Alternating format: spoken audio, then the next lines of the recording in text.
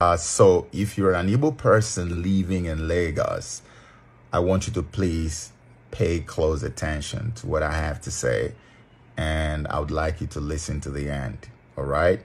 So understandably, you don't have to be an Igbo person to feel the pain that is in the heart of most Igbo people in Lagos. Because I know what happened came out of the blues, right? And everybody was like, my goodness, what is this? Where is this coming from?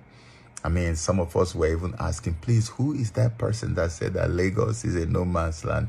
Can we see the person? Nobody's ever going to show you who said it. Nobody will ever show you an Igbo man who said that because what they did was what we call in intelligence, psy-op. Uh, it's called psychological operation. I know because I know. I know how and when they cooked it and unleashed it. It was psychological operation. And it was not aimed at you because of the state elections. It was aimed at you because of the bigger prize that we are all pursuing in Abuja. And I'm going to explain this to you. You know, during the end SARS, during the end SARS, bigotry was buried alive in front of the whole world. Religious fanaticism, tribal hate, all of that flew out the window. There was nothing like religion or tribe that showed up. That was why EndSARS was so successful. And they had to end it the way they did because there was no other way it could have been ended. And from that moment till today, that same movement has remained alive. That movement was tagged structureless. That structureless movement didn't control a single state in Nigeria.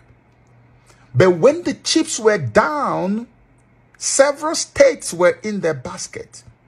And there is now contention taking place to redeem the golden prize in Abuja. That's why there's court case going on. And that is a movement that the old order labeled structureless. Do you know how many old order politicians you retired on the 25th of February 2023? Do you know? Do you know the amount of anger they are now nursing against you? Do you know the pain in their heart that they lost places they have never lost since their lives in politics? It was all part of it. That's why the ripples, the ripple effect came. And they said, Ah, we will show them. And they went into the weaver and reached for that old weapon they've always used all these years. Same old weapon, divide and conquer. Just tell them that Yoruba man should know that Igbo man is coming to take over your land. Once you say that, our people will rise up. It was phantom. It was non-existent ask like we've asked. Point to that one Igbo man who is dragging Lagos with any Yoruba man. Point one for me. Show me the person. Show me that Igbo man who is bragging up about, up, up and down the whole place saying Lagos is a no man. I want to see the person. Nobody will show you because it does not exist. It was created to drive a wedge in the wheel of the movement that is been going together, riding together to go and take what was stolen from the people. The mandate that was stolen from the people. That's what they did it for. It wasn't for the state elections. Because look at the P2B movement. Who were the people at the forefront? Igbos didn't even support P2B as much as the Yorubas. Most of the Igbos were prevented from, from voting on the 25th of February. So who were the people that overwhelmingly voted to be in Lagos and gave him that kind of vote and to the point that he had to win Lagos? Who else has ever won Lagos from the main man who everybody believes owns Lagos? Who has done it before? It's Lagosians, Yoruba people. They were the ones who overwhelmingly, you can never tell me that Igbos voted Obi more than Yorubas to make Obi win Lagos. No, they were Yorubas who did it. Who are the people at the forefront of the Obi movement? They are Yorubas. We have been like this. We have been together. Despite all the old wounds they told us we must observe, despite all the old divisions they told us we must always keep our eyes on, we shunned all of that and worked together as one people. Disregarding tribe, disregarding religion, disregarding position, disregarding everything that the old order has always used as weapon against us. And we came this far. And they have been panicking like there's no tomorrow. That's why they now decided, you know what? Let's go reach for that old weapon. Let's try it one more time. You know, they've been trying since then. Even before the election, they've been trying. None of it worked. But this time around, boom, let's do it. Let's do it. Igbo, Yoruba, Igbo, the old rivalry. Let's reawaken that monster. And they did. Most of the people who fell victims didn't even know what was going on. That's why some of them are coming online to come and apologize for what they had done.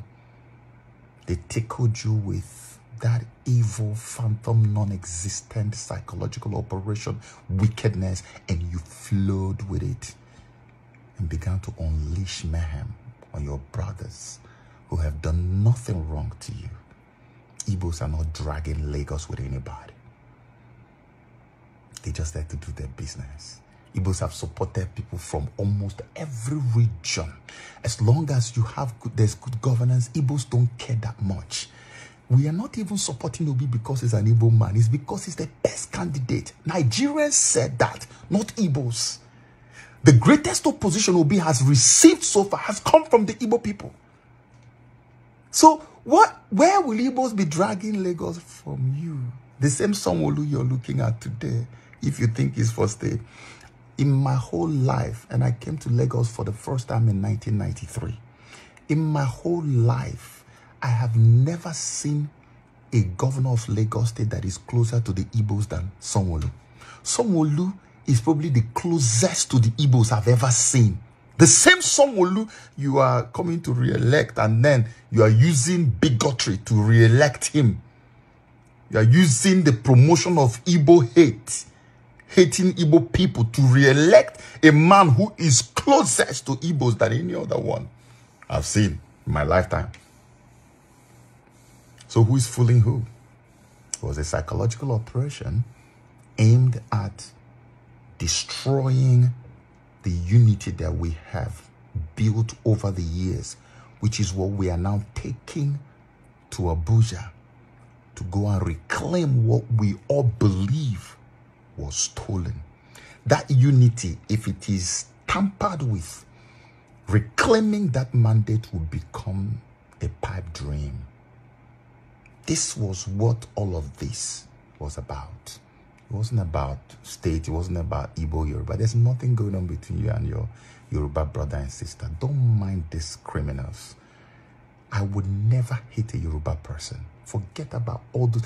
All those things are political weapons they use. But we've gone past all of that. We've gone past all of that. Some Yoruba people were manhandled, were beaten because they say they looked like Igbo. Go hear them. They're talking. So it's not about Yoruba Igbo. Yoruba people are not the people who did this. It's the same crop of satanic, kabbalistic Human beings who have held us down all these years, they are the ones. They are the ones because they feel so pained that many of the so-called uh, and madams are being retired, permanently retired forever in politics. Some were retired on the 25th, some were retired on the 18th, and many of them are crying blood every day. So anyhow they can get at you, they will do it. That's why they launched this psychological operation on you. And many of you are falling for it. Don't fall for it. Love up on your brothers. Love up on your Yoruba brothers and sisters. Take this from me. I'm not doing this to make anybody feel good. Love up on your Yoruba brothers and sisters. This is the only way we are going to get these devils, these demons to knock their heads against the wall and smash their skulls. And we will let them know that we are wiser now than we were before. Because The journey we started is not come to an end yet. You know why? It's not over. It's not over. You will see soon that it's not over until it's over. And mark my words, victory is waiting for us, and we cannot be a divided house as we march on to victory. We have to march on to victory as one people because divided we fall, but united we stand. Let us stand united and in love. Okay? Don't hate anybody. Just love. Let love lead. All right? Love you, man. God bless you. Bye bye.